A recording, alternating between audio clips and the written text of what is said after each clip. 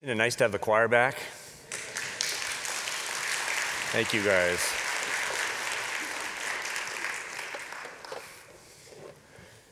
Our scripture reading this morning comes from the book of Joshua, Joshua chapter 1, verses 1 through 9. If you're able at home or in the room, would you please stand with me? And um, you pull out the book in front of you. There's a, a Pew Bible there. You'll find the text on page 168. I'd love for you to do that because then you'll be able to follow along as we discuss the text a little bit later on. Joshua chapter 1, uh, verses 1 through 9. When we're done reading, I'll say, This is the word of the Lord, so that if you believe it, you can say, Thanks be to God. Listen carefully. We're reading God's holy word. After the death of Moses, the servant of the Lord, the Lord spoke to Joshua, son of Nun, Moses' assistant, saying, My servant Moses is dead. Now proceed to cross the Jordan, you and all this people, into the land that I am giving to them, to the Israelites. Every place that the sole of your foot will tread upon, I have given to you, as I promised to Moses. From the wilderness and the Lebanon as far as the great river, the river Euphrates, all the land of the Hittites to the great sea in the west shall be your territory. No one shall be able to stand against you all the days of your life. As I was with Moses, so I will be with you. I will not fail you or forsake you. To be strong and courageous, for you shall put this people in possession of the land that I swore to their ancestors to give them. Only be strong and very courageous, being careful to act in accordance with all the law that my servant Moses commanded you. Do not turn from it to the right hand or to the left, so that you may be successful wherever you go. This book of the law shall not depart out of your mouth. You shall meditate on it day and night, so that you may be careful to act in accordance with all that is written in it. For then you shall make your way prosperous, and then you shall be successful. I hereby command you be strong and courageous. Do not be frightened or dismayed for the Lord your God is with you wherever you go. This is the word of the Lord. The grass withers and the flower falls, but the word of the Lord lasts forever. Please be seated.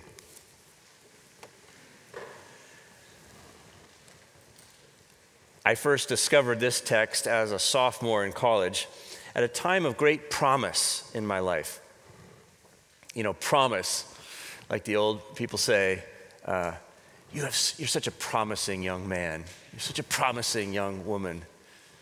I felt that at that time, it's as though the universe had put a yellow sign in front of me that said, Caution, bright future ahead.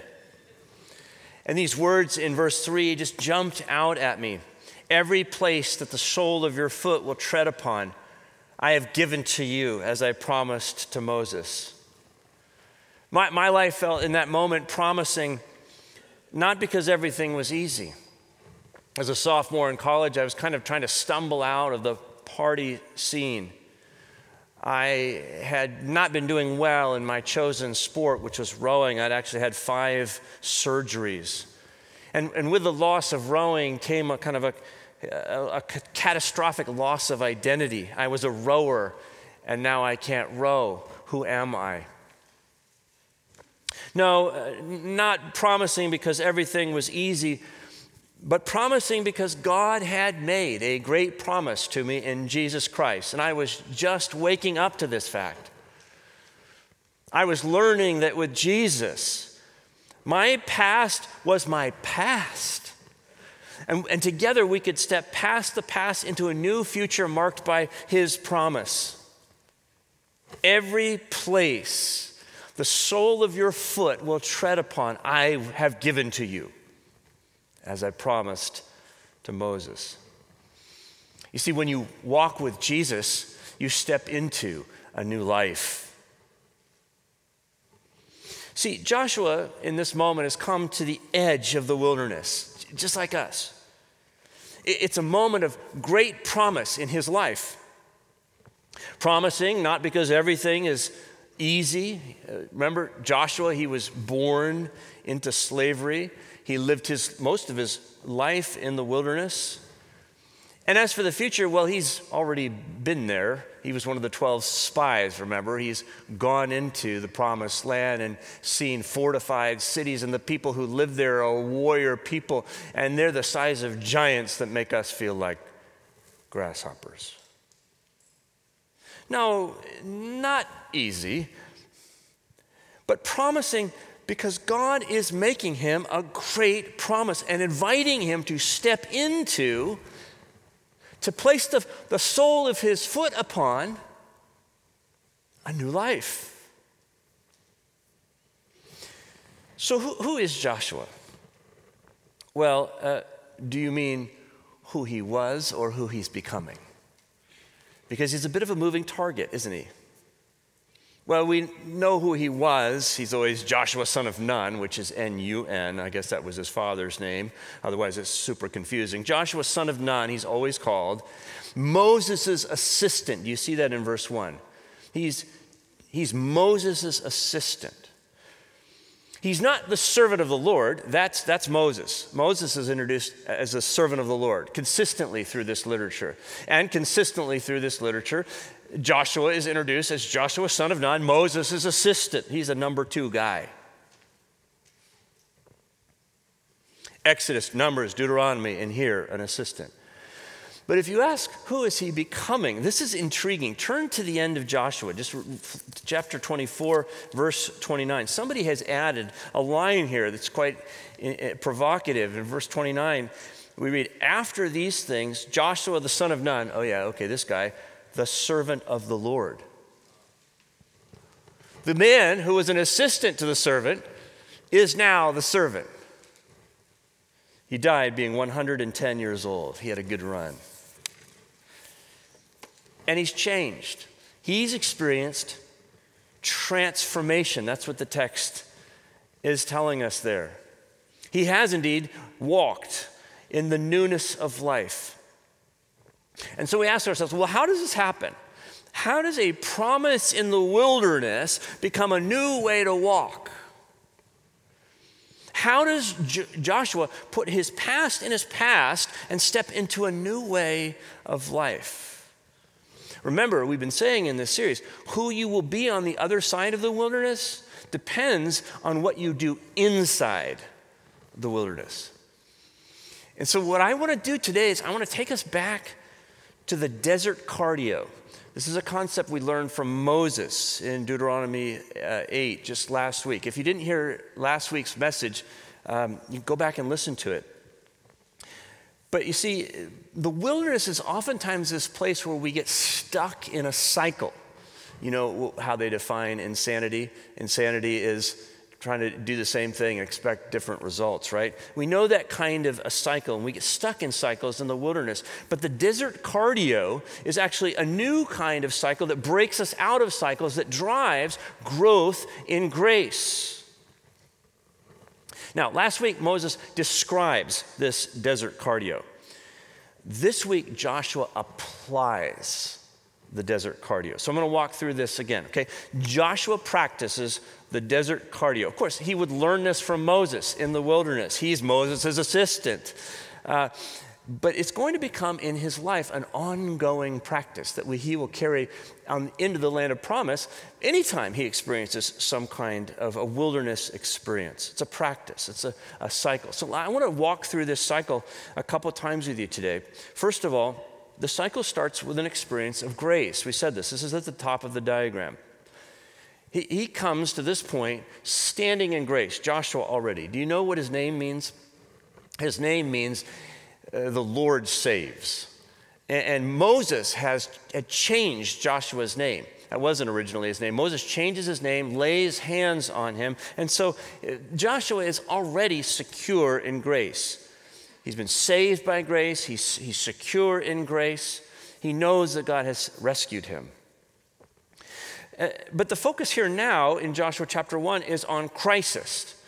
And he is in crisis. And, and the writer wants us to know right away Moses is dead. That's the crisis. Moses is dead. Now, here we find him mourning, just as we had found Moses not long prior to this, mourning at the death of his sister Miriam. Moses is dead. This is Joshua's closest friend, spiritual mentor. He's grieving. This is crisis, right? He's grieving. And it's not just a personal crisis, there's a sociological dimension to this as well because we ask, well, who is Moses? Moses was the guy who holds this people together.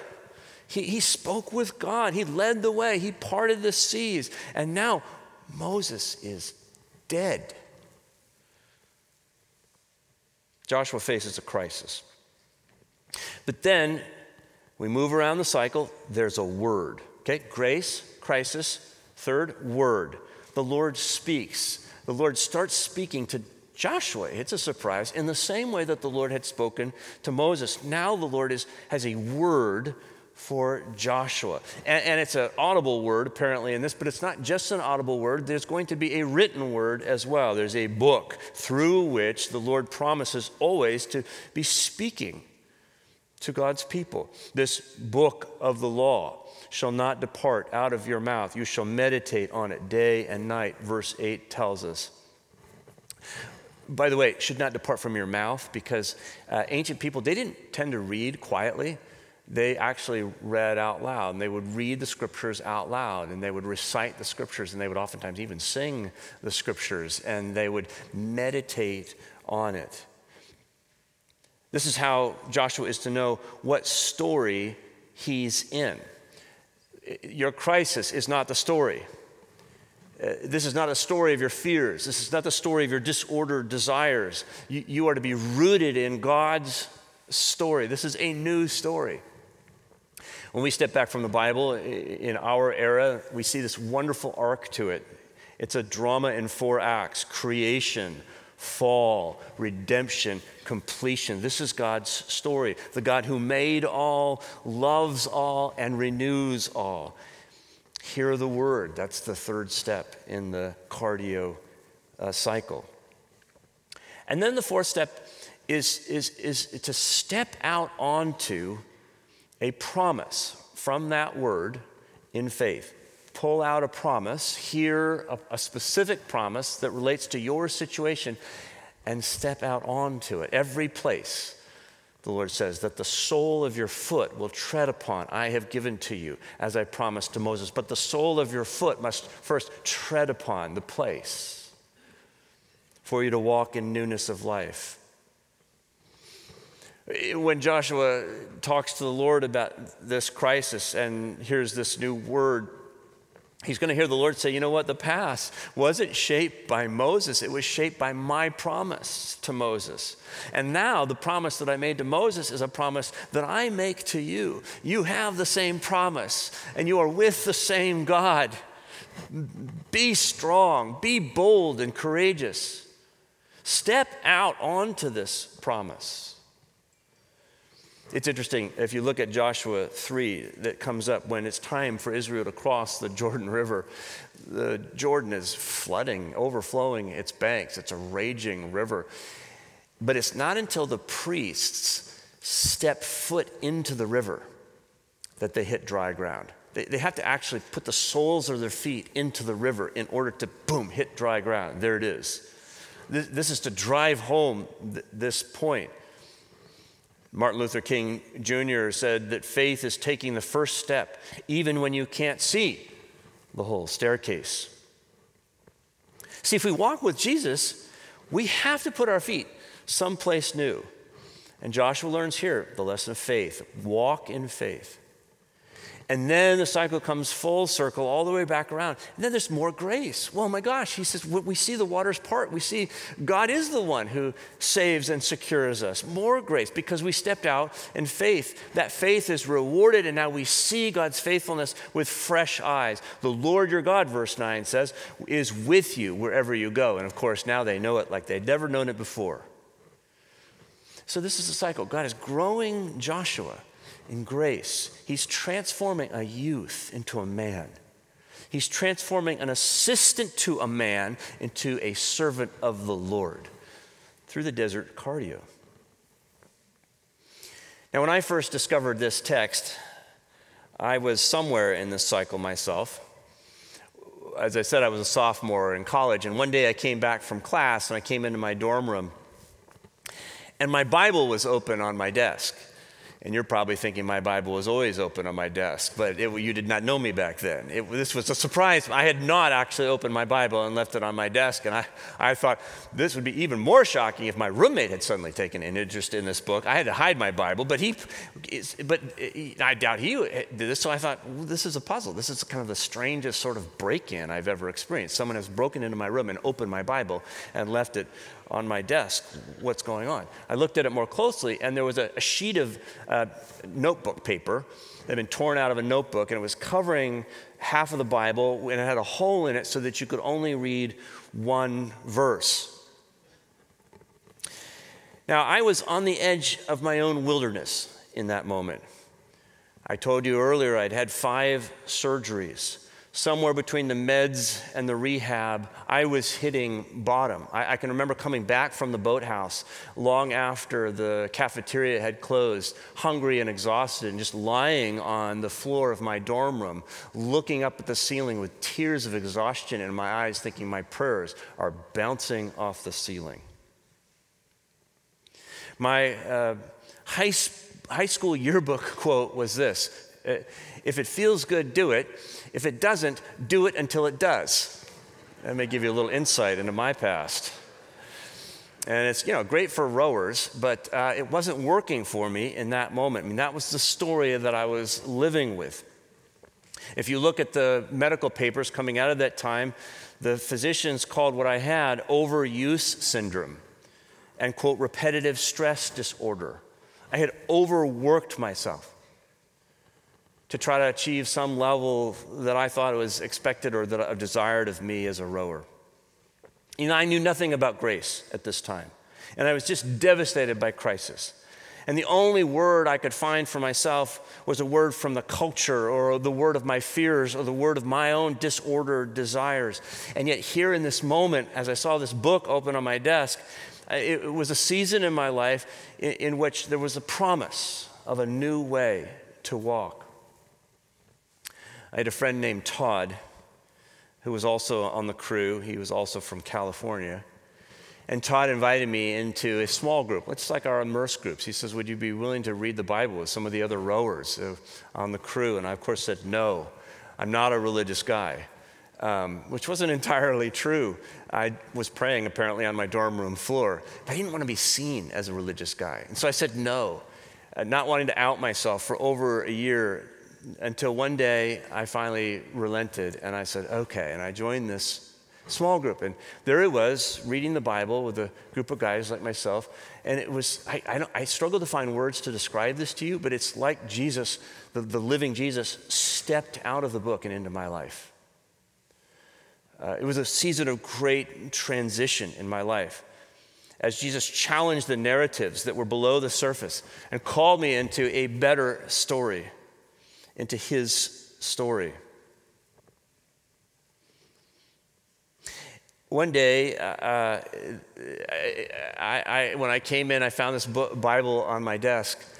I, I, like something clicked. I go, oh, I think I know what happened because earlier in that week, this was like a Thursday or Friday, earlier in that week, I'd been at this small group and we had been sharing prayer requests with one another. And I had shared with this group that I was going away this coming weekend because I'd been invited by a young woman to a, a, a campus carnival. It was a weekend carnival. And, and she was uh, this attractive young woman, and she had invited me to spend a weekend uh, with her at a carnival. And she made sure I understood what this was going to be out. She said, My roommates are all sleeping somewhere else. And I was terrified. Not of her, I was terrified of myself. I knew how easy it would be for me to fall back into my past. And so I'd said to my brothers in this group, Would you please pray for me? And, and, and it must have been Todd, I immediately realized, who had broken somehow into my dorm room, put my Bible on the desk, and he had covered everything except for one verse, and it was verse 8 of Joshua chapter 1. And here's the words that I read that day as I thought about packing my bags to go to this other college. This book of the law shall not depart out of your mouth you shall meditate on it day and night, so that you may be careful to act in accordance with all that is written in it. For then you shall make your way prosperous, and then you shall be successful. And I just laughed, and my heart started to sing. I thought, oh my gosh, I have a father who loves me. I have a brother who has redeemed me. I am filled with the Holy Spirit of Jesus who brings resurrection power in and through me. I have a promise. There's a God who says, I am going to make your way. This was Jesus speaking his word, giving me a promise, calling me to faith. He's saying, Walk with me, and you will step into a new life. Now, looking back on, on that season, it was a couple of years of crisis. I, I wouldn't trade that crisis for any number of rowing medals. Nor would I trade any other crisis at this point that I've had to struggle through. Because each one in its own way has taught me how to lift my heart up to the Lord. My faith has grown as I've gotten to know Jesus better. My faith, which is like precious gold, Peter says, refined by fire. And I want the same for you. If you and I could sit down for a cup of coffee and talk about our struggles together, I'd be thinking somewhere in the back of my mind about the, the desert cardio. And we really do need to help each other with this in the way that Todd helped me, I believe Moses helped Joshua.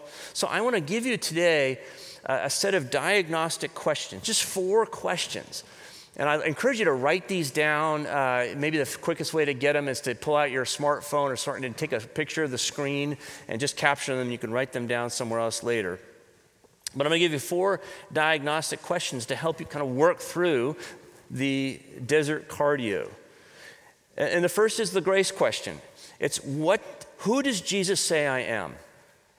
Remember Joshua, he's got to get a heart level grasp on the meaning of his name, the Lord saves. He, under, he needs to really understand he is saved and rescued, not by his own works, but by grace. Ephesians 2 8 and 9 say, For by grace you have been saved through faith. This is not your own doing, it's the gift of God, not as a result of works, so that no one should boast. Joshua, the Lord is salvation. We have to understand ourselves to be saved by grace, secured by grace. And so, who does Jesus say I am? Remember, Calvin said the only way to know yourself is to know God, and the only way to know God is to know yourself. What is my God given identity in this situation? You're thinking about your current moment. Who am I in this situation? Who does Jesus say that I am? Grace. The, the second question is about crisis. What do my reactions to this crisis tell me about my true beliefs? What do my reactions say about my true beliefs? Remember Joseph's, Joshua's Christ? Moses is dead. And uh, our crisis might involve death, or it might be you know, a rejection letter that you receive, or a car accident that you've had, or a breakup, or any number of things. Don't, don't ask yourself so much what's happening, but what do I believe about what's happening? You're starting to get below the surface. What do my reactions say about my true beliefs? Not what I say I believe, but what I might actually believe because of the way I'm reacting. So get, get below the surface, ask what are my fears? What feels threatened here? What's not working here? Where might my des- desires be disordered? We're trying to get at the deep narrative or the implicit narratives of our, our, lives. And these narratives are shaped by our past, by our culture, by our sinful hearts, by the enemy himself, the father of lies. And those things, they will shape our responses unless we're aware of them. So we're trying to surface, take advantage of the crisis to surface those narratives. Number three, word. Where am I in God's story? Joshua is, is learning to receive a better story. This book of law shall not depart from your mouth. Remember, God's story is a drama in three acts creation, fall, redemption, completion. Where are you in that story in this moment? with this crisis. When we talk about the gospel here, we say this is the good news that God has reconciled the world to himself in Jesus Christ. That's, that's God's story. Followers of Jesus understand that that story is meant to reframe their current situation or crisis. That's why Jesus, speaking of a new Exodus that he would represent for all people in John chapter 8, 31 and 32, says, If you continue in my word, you are truly my disciples, and you will know the truth, and the truth will set you free. Where am I in God's story? Four, faith. What Bible promise opens me to a new way? Okay? Joshua needs to put his foot on a specific problem, promise, the sole of your foot. So ask the Lord to give you a specific promise to claim, a verse in the Bible, something that will change the trajectory of your situation as you move through it. You'll have to be reading the Bible regularly or gathering in an immerse group or a small group. And sometimes you might have to ask another person to speak a word into your life. But once you get that verse, write it down. This is what post its are for, Sharpies are for, tattoos are for. Keep it in, keep it in front of you, okay? Remember, James 1 22 says, Be doers of the word and not merely hearers. Paul in 2 Corinthians 5 7 7 said, We walk by faith, not by sight. What is your faith in? What's the promise you're trusting in this season of crisis? What Bible promise opens me to a new way? So that's a desert cardio. It's kind of a tool for us, right? Stand in grace, face a crisis, hear the word, walk in faith, stand in grace. That's the practice. That's what we're trying to do when we lift our hearts up to the Lord. This is how we step into a new life. And finally, I just want to say I believe this is a moment of great promise in your life. I believe there's a big yellow sign in front of you somewhere that, that says, Caution, bright future ahead. For you, I know things are hard right now. I mean, we're like Joshua, we are weary, we've lost people, we're isolated, our families are divided, feels like we've lost two years of our lives, churches are emptied, and when they're not, everything feels like it's changed. Someone, a friend of mine said to me the other day, Hey, where's Mr. Positive? I, and my first thought was, Well, COVID positive. I think I lost him six months ago. Trying to find. If you see Mr. Positive walk around here, let me know because I've lost him. But here's what we're finding better than that we're finding new life in Jesus Christ. That's why we're in the wilderness, to find new life in Jesus Christ. When you walk with Jesus, you step into a new life. We can't go back to the past. You do know that, don't you? We cannot go back to the past. The only way out of this is forward, to step past the past into a new and better future. Moses is dead. We're not going back to 2019. We can't. This is true for you. This is true for me personally. It's true for us corporately. Moses is dead. Quit hanging around the tomb. Why do you look for the living among the dead? Christ is risen. Jesus goes before you. Look ahead. Follow Jesus. Claim a promise. Take a new step. You may not see the staircase until you take the first step. Be strong and courageous. Every place the sole of your foot will tread upon, I have given to you, as I promised to Moses. What a promise. Are you ready to walk? Are you ready to pick up your pallet and walk? Jesus is calling. Come, tax collector. Come, prostitute. Come, Pharisee. Come, leper. Come to me, he says, walk with me and work with me, learn the unforced rhythms of grace. Be strong and courageous. Come place the sole of your foot on new ground. What a promise. Oh, what a promising church you are. Let's pray. God, no matter where we are in the wilderness, no matter how old or how young we are, we are people of a promise. Thank you for the invitation, even the challenge, the admonition to claim that promise and fully live into it.